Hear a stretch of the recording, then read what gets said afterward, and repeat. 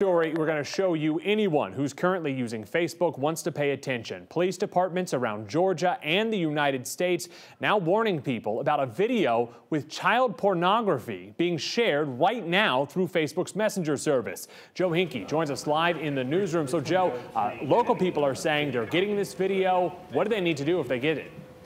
Well, Ryan, uh, the simple message is deleted over on 11alive.com today. This is one of the most read stories. We've had people sending through Facebook Messenger our newsroom the video asking us to find out where this video is coming from. Now, Marietta police say on Friday they had at least three people report to their police department about receiving the video. Marietta police are warning Facebook users to delete the video. As I said, sharing the video does not help in finding who made it, they tell us. And Marietta PD says it is actually illegal to share it because it's considered distribution of child por pornography. Now, spokespeople with the GBI and FBI tell me they are aware of the video and it is believed to have originated in Alabama. I'm told law enforcement in Alabama are investigating to find the source of the video. And Cobb County their police department tells us they inadvertently sent out a robocall about the video to alert Cobb residents. While they wanted to alert people about the issue, they did not mean to use their robocall system to do so. Now, one of the top questions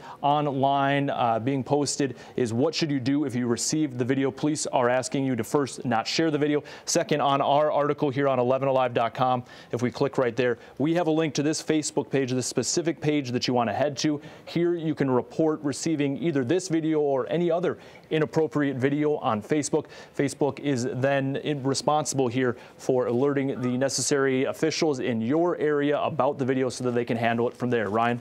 All right, good information there, Joe. Thank you.